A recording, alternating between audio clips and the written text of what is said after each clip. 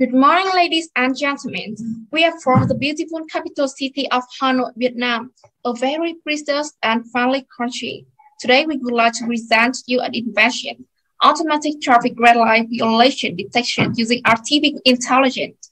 We will present our project now. The number of vehicles is increasing rapidly recently, and this leads to severe destruction and accidents that endanger people's lives and properties.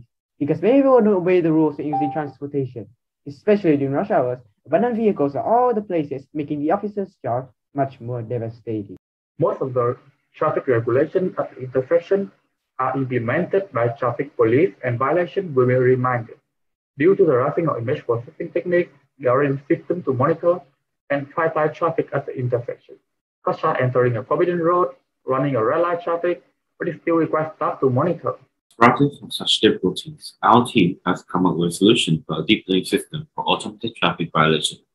We use a camera scanner on the side of a road looking at the intersection of traffic lights. Then we'll be using convolutional neural network to identify the vehicles. Meanwhile, we'll be using image processing to identify whether red or not. Once violation is detected, the information of vehicle will be extracted. Our invention mainly consists of three parts, vehicle violation detection, signature monitoring, and vehicle recognition. The image is given to the camera as an input where it's first being processed, compared to traffic signal change, and checked for violation.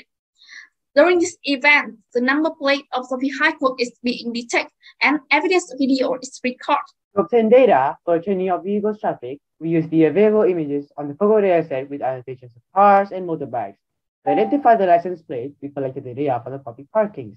After pre-processing the images with various filters, including flipping, blurring, changing light contrast, we had up to 3,000 images with 80% for training and 20% for testing. To train this model, we borrow Google Colab GPU, which including NVIDIA Tesla K80. On the software side, we also use Google Colab environment along with PyTorch framework.